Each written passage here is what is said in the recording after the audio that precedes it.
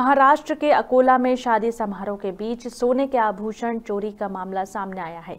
मामला सिंधी कैंप पक्की खोली का है, जहाँ लक्ष्मण मोहनदास धींगरा का शादी समारोह चल रहा था। उसी बीच पर्स में रखे दुल्हन को देने वाले सोने के आभूषणों को अज्ञात युवक लेकर फरार हो गया।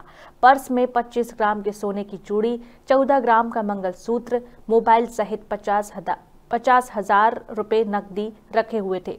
वहीं सीसीटीवी चेक में युवक पर्स लेकर फरार होते नज़र आ रहा है। मामले की शिकायत अकोला के दाबकी रोड पुलिस स्टेशन में की गई है। वहीं पुलिस मामले की जाँच में जुटी है। अकोला से संवाददाता शाहिद इकबाल की रिपोर्ट।